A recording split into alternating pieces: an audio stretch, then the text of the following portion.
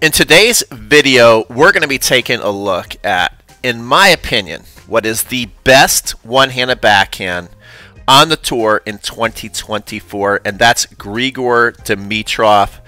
Lots of people for many years have called him Baby Fed, but you know what? We got to stop calling him Baby Fed. He's a grown ass man, and he has amazing technique. He's worked very, very hard to get it. We're going to break it down from the grips, the preparation, uh, little cues and tips I want you to think about when you go out and practice. And we're not going to only show you how Grigor does it, but we're going to show you how you can do it too. It actually takes training and not talent to create perfect technique on a one-handed backhand, a two-handed backhand, a forehand, a serve. Of course, Grigor might have some more natural ability than we do, but anybody can create perfect technique if they want to. I'm actually going to prove it to you if you watch today's entire video. Let's get into this. Okay, so the first thing we're going to take a look at today is Grigor's grip. So when he makes that turn, we're going to focus, get a close-up in on his knuckles there. And we can see that he has his knuckles right on top of the racket. I like to call this the motorcycle grip. So right on top of your grip, place those knuckles. That's going to enable you to rip that ball. Like some old school backhands like McEnroe, their knuckles might be a little more in the center of the grip. Let me see if I can draw it here. You know, they just hold it, they'd have their knuckles lower on the grip. That makes it harder to really accelerate and rip the ball. Almost all pros today are going to be holding the grip in a very similar fashion here. So he's got his knuckles on top of the racket, okay? So there's there is your, your grip that you want to think about. You don't even really need to think about bevels or anything like that. Just pretend that your grip is um, motorcycle handles and you're going to hold your knuckles on top. All right, now, the next thing we're going to take a look at, which is a very similar setup to uh, Roger Federer, is how he kind of has his elbows in a ready position out to the side, pointing out each way. Okay, so this enables, especially for a one-hander, to get ready really quickly. We can also see that in a ready position, he is holding his non-dominant hand by the throat there towards the top. So all he's got to do right here, what we're going to notice, is he's kind of already ready to hit the ball, believe it or not. If we take a look at how he's looking this way at the court, when he gets ready to turn here in this first move, we're not going to see too much of a difference. We're not going to see his arms really working to get in a position and bring the racket back. He's just going to pivot his foot here. He's just basically going to pivot that foot backwards and just basically turn. See, watch this. Not much hand or arm work going on here right now. See? He's just basically bringing that pivot foot back, and now he's set. Another thing that we're going to see when he hits that one-hander is look at how the racket butt, the bottom of the racket, is literally facing right to the ground, and the tip of the racket is going way up to the sky.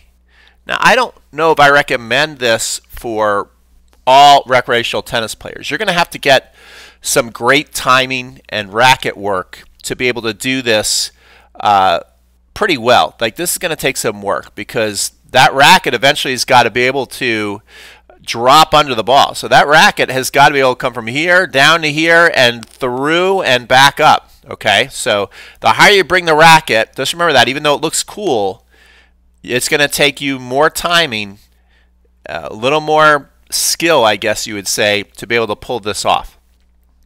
But you can do it, as I'll show you uh, at the end of this video. So we can see that. There is again set. He uh, Notice he pushes that elbow back pretty high. We'll take a look at another view a little later in this video when we're looking at this.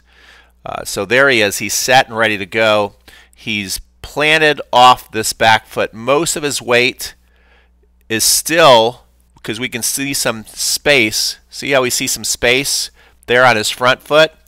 So he still has loaded most of his weight on the back foot and the hip. Remember this, when you want to hit a ball hard, this hip right here is going to create the whip up here, okay? The hip creates the whip. They're connected. And the hip kind of makes a decision like, let's go, let's do this. Let's start committing to the ball. And then that's going to have the racket head give its signal to really start firing, which he's starting to do. You see how, you see how the hip's making that motion down? And that's also bringing his racket down. And then there's the contact point. He's a little probably in closer than he likes. This is probably not the ideal ball for Grigor. He's, he's a little tight on this one. Okay, but another thing that I want you to notice, and we'll take a look at another one, but to hit a one-handed backhand well, you've really got to be so, so far out in front. Now, this is, this is not an ideal um, stroke for Grigor. I bet you if he could get a redo, he'd probably take one. He'd like, that's not as clean as I can hit it. But he still, notice how important it is. Look how far out in front that's that's pretty far out in front he is to hit that backhand. Where of a two-hander, you can you can get away with hitting the ball kind of like even with your feet, even behind a little bit. Use that that top wrist to maneuver the ball. But on a one-hander, I do think it takes better timing uh, to be able to pull it off. And then he comes, kind of fights this one off. So we'll take a look at another stroke from Grigor here. Okay, so the next thing is if you have a one-hander, and you've ever taken some private lessons, and the coach is kind of looking at you from this angle, they're feeding balls out of their basket. Probably at some point, a coach is going to tell you, "Hey, on your one-hander, I want you to turn to where I can see your back." And since you can't see your own body, uh, I want to show you exactly what a coach would love to see. So maybe practice this. Uh, so when a coach is saying, "Hey, I want to see your back," like literally, this is what we would love to see uh, obviously Grigor would be our star student because uh, look at look at this. Look how much of his back we see. We don't even see any of his chest. Again, we can see the racket tip up there, still up to the sky. So just remember this visual. Uh, now we know that that he has turned. He's turned side on. When they say side on, basically they mean they mean uh, this. Where uh, hold on, let me get my drawing utensils here he's side on right there. His whole body is. But what's important is that he still has not committed all his weight onto that front foot. So even at this point, even though it looks like it, he's still light on his front foot. Most of the weight is still back here. And then, so he's still relaxed in the front leg to where he can start to have the hip create the whip, and then transfer more onto the front leg. You see how he just did that? And then he's hitting the ball. Let's clear this out. Again, take a look at that nice contact point way out in front. And remember how we talked about the motorcycle grip? Another thing I like to tell my students is pretend that you're making a fist, like you're almost fist bumping the tennis ball. Okay, so this is what I mean. Like you're going to make a fist to the tennis ball and that way you can make sure that your racket frame is not opening up to where the ball would tweak and fly out on you and you lose all your spin. All right, let's uh, take a look at the back view of Grigor's backhand. I just want to show you this follow through, which we're going to get into a little more. Watch the follow through. This thing is just like amazing right there. that is beautiful, which I'm going to touch on a little bit uh, in this next segment. Okay, so let's get into the back view here because uh, there's something I want you to really pay attention to as a one-hander. Now, first of all, let's again take a look at that elbow. Okay, this is another uh, elbow the enemy move. We heard Jeff Salzenstein talk about the elbow the enemy on the serve, but pretend this: somebody's coming at you, and you're going to give them a high elbow up to the face when you're going into the turn right here, and uh, he's really getting down low for this ball. So look how low the racket gets look at those strings, we can see those strings angled down towards the ground. This is this is very important. So when he goes to hit that ball, that the ball is not going to fly out on him. So very important that his strings are facing towards the ground. Not as much as you're seeing some topspin forehands, but we can see we got that angle towards the ground. He's going to come up. Now watch this. Watch how long he's going to stay side on. This is great that we have the crowd over there. Watch. So he's just hit the ball. He's side on and still side on. The ball is way gone. Okay, this is where a lot of recreational players make a big mistake. They open up too early, but we can see the ball is right here right now. Grigor's body is still facing way over towards the crowd. And then the range of motion is just phenomenal. I mean, that is crazy.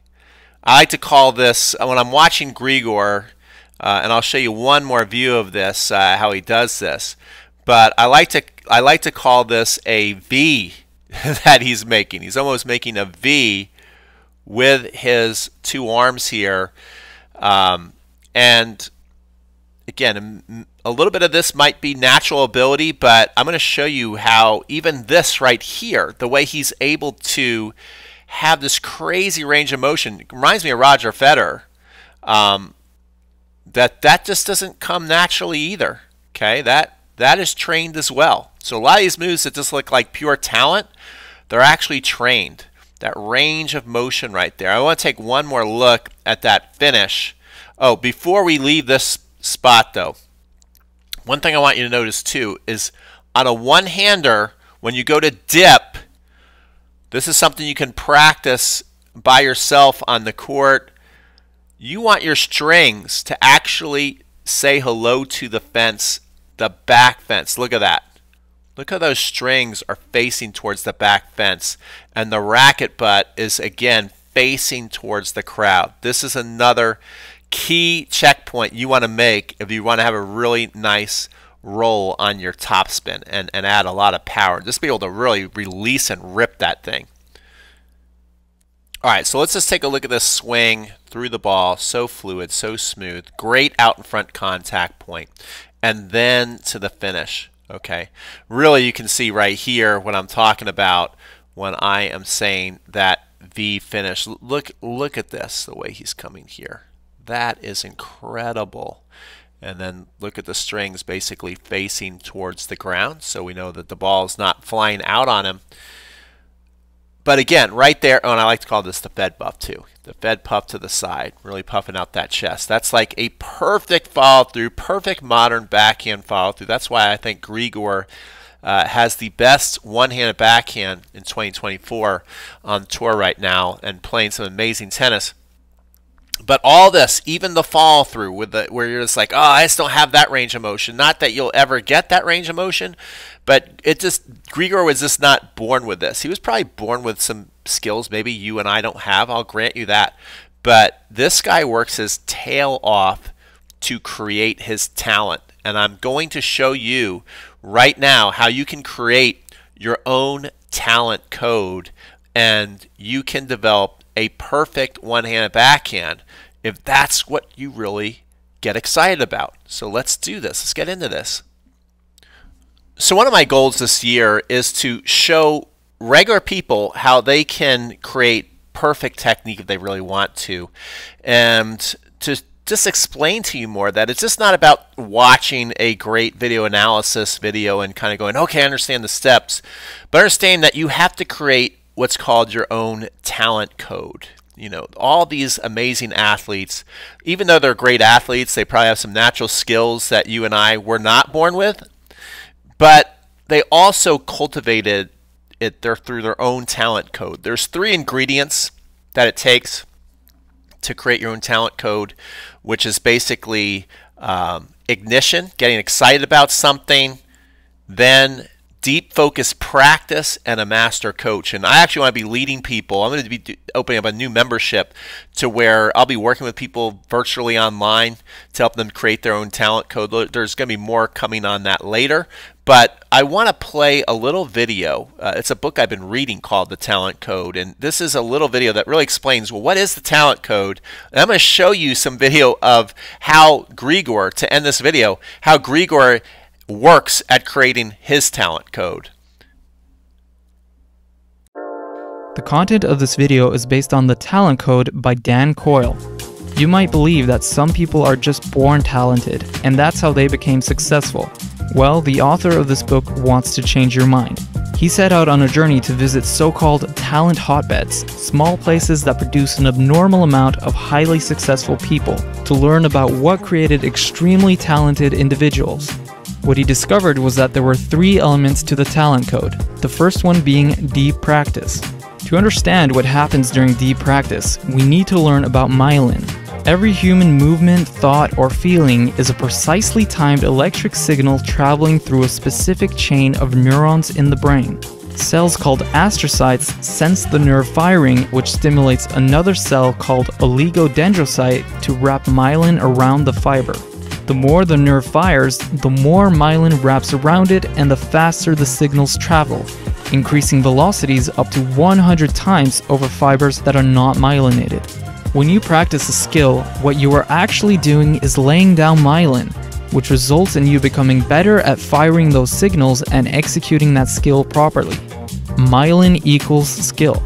The more we develop a skill, or rather myelinate a neural circuit, the less aware we are that we're using it. So, on the surface, Grigor Dimitrov just seems extremely talented, but every move that he is making on the court it's all done behind the scenes from his coach giving him hand feeds to him going in the gym and working on cardio to working on strength and flexibility.